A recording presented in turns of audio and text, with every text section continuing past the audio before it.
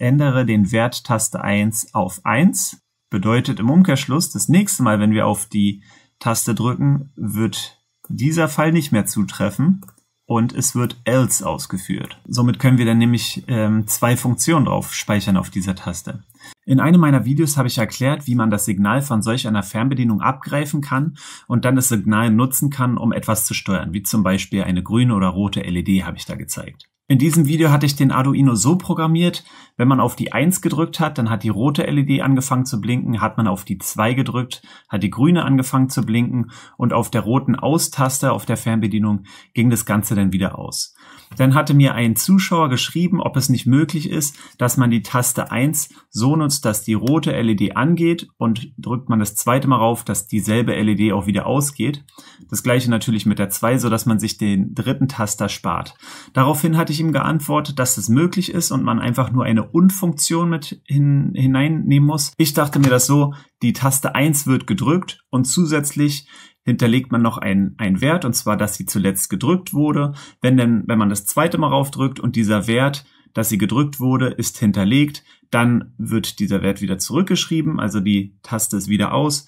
Also mit so einer typischen Und-Funktion. Allerdings hat das so nicht funktioniert. Ich habe dann einige Zeit rumsuchen müssen und habe mich dann letztendlich dafür entschieden, den Loop komplett umzuschreiben. Und das Ganze gucken wir uns dann an. Der Aufbau ist genauso wie in dem anderen Video, nur dass wir jetzt auf die Taste 1 drücken und die rote LED na, fängt sie an zu blinken. So, und die rote LED fängt an zu blinken. Drücken wir ein zweites Mal rauf, geht sie aus das gleiche natürlich, wenn wir jetzt hier die grüne Taste drücken, also die Taste 2, fängt die an zu blinken. Wir können die erste wieder ausschalten, wir können sie aber auch wieder dazu schalten. Genau, und die äh, Funktion der Austaste habe ich jetzt hier nicht hinterlegt.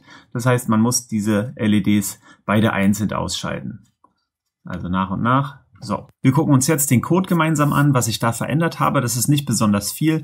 Wie gesagt, nur der Loop musste nochmal angepasst werden. Der Rest bleibt fast alles gleich. Eine Kleinigkeit habe ich noch geändert. Ob das notwendig ist, weiß ich nicht so genau. Wir schauen uns das mal an. Was habe ich gemacht? Ich habe erstmal auf Sketch geklickt, bin dann auf Bibliotheken einbinden, Bibliotheken verwalten gegangen und habe geschaut, ob von der IR Remote äh, von dem IR Remote Sketch nicht vielleicht schon ein, dass es da ein Upge Update gibt. Also habe ich hier oben IR Remote eingegeben und hier sieht man, dass IR Remote installiert ist und ich habe mittlerweile auch das neueste. Ursprünglich hatte ich nicht 3.7.1. Ich habe es geupdatet. Ich hatte irgendeine ältere Version und äh, das habe ich installiert.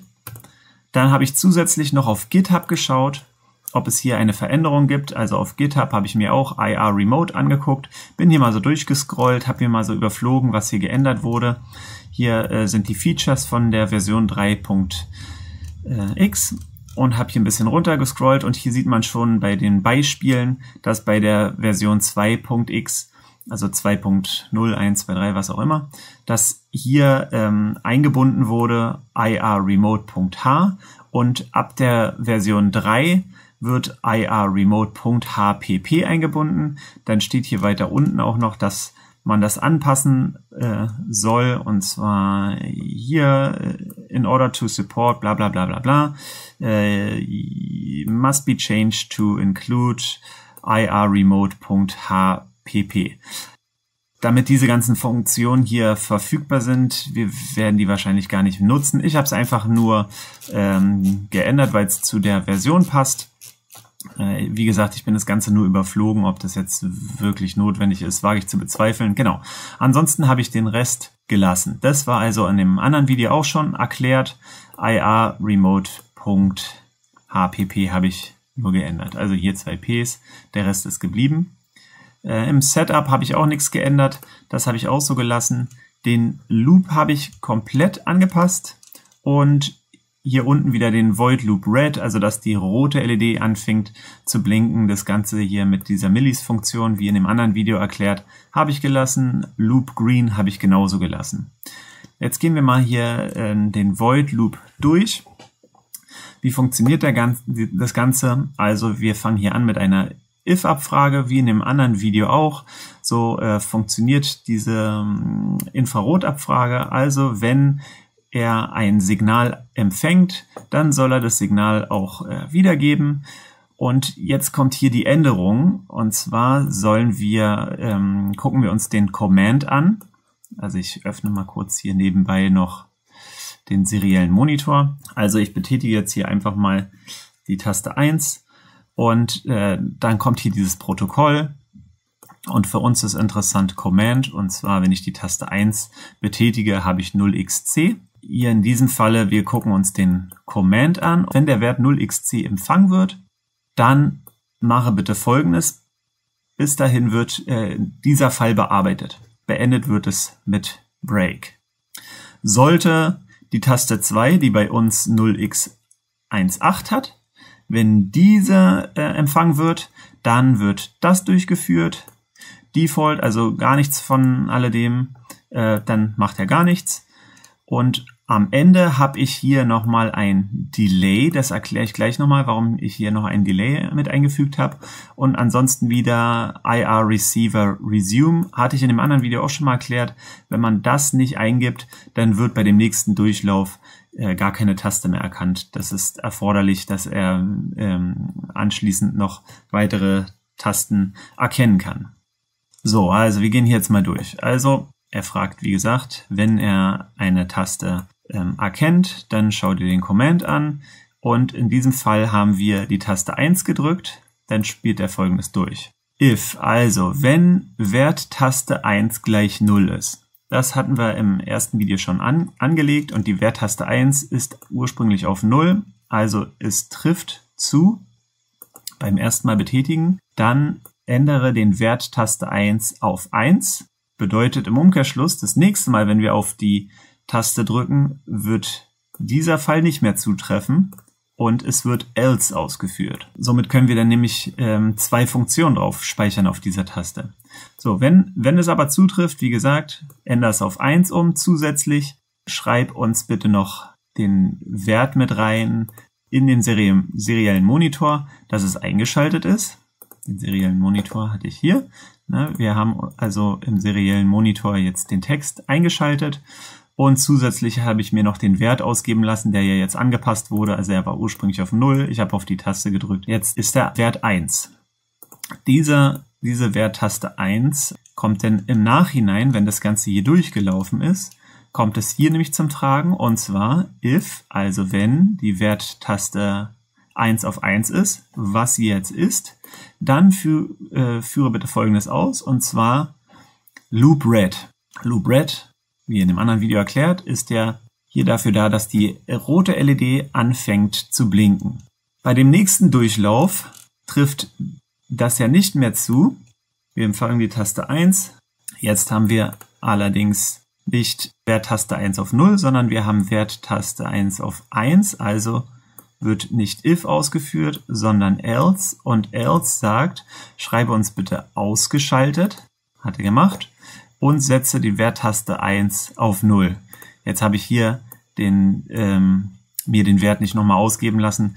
Könnte man hier zusätzlich auch noch reinschreiben. Also es soll dann beim nächsten Durchlauf uns auch noch äh, sagen, muss nur die richtige Reihenfolge sein, welchen Wert jetzt die, die Taste hat. Aber ist jetzt nicht unbedingt erforderlich. Warum habe ich das hier überhaupt reingeschrieben? Das ist immer ganz interessant, wenn man anfängt, ein Programm zu schreiben, und man vielleicht den ein oder anderen Fehler drin hat, kann man das Fehlersuche nutzen. Wenn jetzt nämlich nichts passiert, wenn ich auf die Taste drücke, dann kann ich in dem seriellen Monitor schauen und kann sehen, okay, er hat jetzt nur dieses Protokoll empfangen, aber nichts gemacht. Warum schreibt er mir nicht ausschalten? Äh, oder wenn er es reinschreibt, aber die Lampe doch nicht angeht, dann weiß ich, okay, er hat das zwar so umgesetzt, aber vielleicht habe ich einen Schreibfehler in, äh, in meinem Code drinne. Also ähm, das ist nicht unbedingt erforderlich, ist es nur für einen selber, wenn man äh, das Programm schreibt oder jetzt hier für das Video, schön übersichtlich. Ich drücke wieder die Taste 1 und er schaltet sie wieder 1 und hat den Wert wieder auf ähm, 1 gesetzt. Ich lade es mal eben hoch. Jetzt haben wir auch die Änderung dabei. Ich öffne wieder den seriellen Monitor. Das heißt, ich drücke auf Taste 1 und hier steht eingeschaltet. Ich drücke nochmal drauf, ausgeschaltet und ich sehe, er ändert mir auch den Wert immer von 0 auf 1 und von 1 auf 0. Bedeutet also, wenn ich äh, die Werttaste 1 auf 0 habe, dann ähm, trifft das hier ja nicht mehr zu. Das heißt, er führt else aus und else heißt, schalte mir die rote LED ab. Das gleiche habe ich natürlich auch für die grüne LED. Also wenn dieser Fall zutrifft, ich empfange die 0x18 und der Wert Taste 2, weil Taste 2 ist für die grüne LED, haben wir ausgewählt, wenn dieser auf 0 ist, und das ist er ja ursprünglich, dann setze den Wert bitte auf 1, damit wir beim zweiten Durchlauf erkennen, dass die Lampe schon eingeschaltet ist. Dann schreibst du mir wieder hier rein, eingeschaltet und den entsprechenden Wert. Das gleiche machen wir hier unten auch hin. Jetzt müssen wir aber natürlich bei else das hochsetzen, weil sonst schreibt er uns den Wert, bevor er ihn um, umändert. So, jetzt können wir das auch nochmal schnell hochladen. Und das gleiche funktioniert dann auch bei der Taste 2. Hier eingeschaltet 1, äh, ausgeschaltet 0 und bei der roten Taste genauso. Als nächstes, warum habe ich hier ein Delay mit reingeschrieben?